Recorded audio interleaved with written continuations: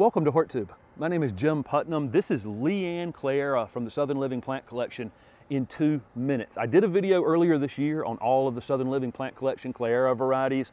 I will link that video up here in the corner if you're interested in learning more about the rest of this collection. These are fantastic, moderately fast growing screening plants, border plants, plant that would work well in the corner of a foundation, even in a container.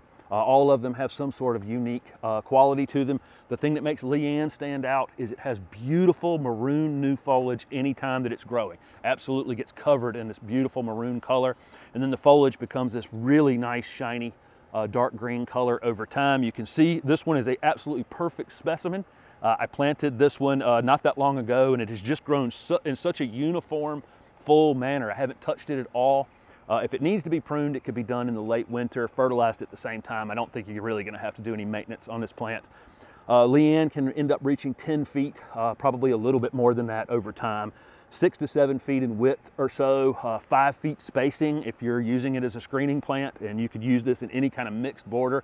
Could be used with the other Cleyera varieties, including those variegated ones. Uh, it's hardy in zone seven to 10, so most people in the southeast, this is a perfect plant for you uh, to use as a border plant or a screening plant.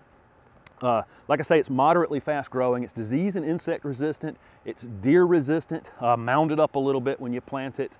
Uh, once it's established, they're, they're moderately uh, drought tolerant. This is going to be the more sun, the more color on these varieties, on the new growth. I've got this one in a little bit of shade here, and I lose a little bit of the color. When it was coming out this spring, it was maroon, but it wasn't quite as maroon as it would be in a little more sun.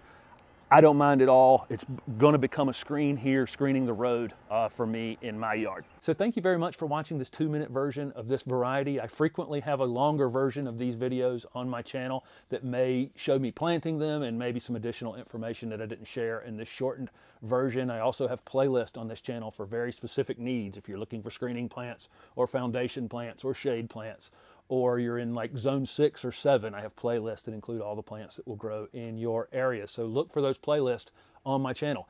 Thanks for watching.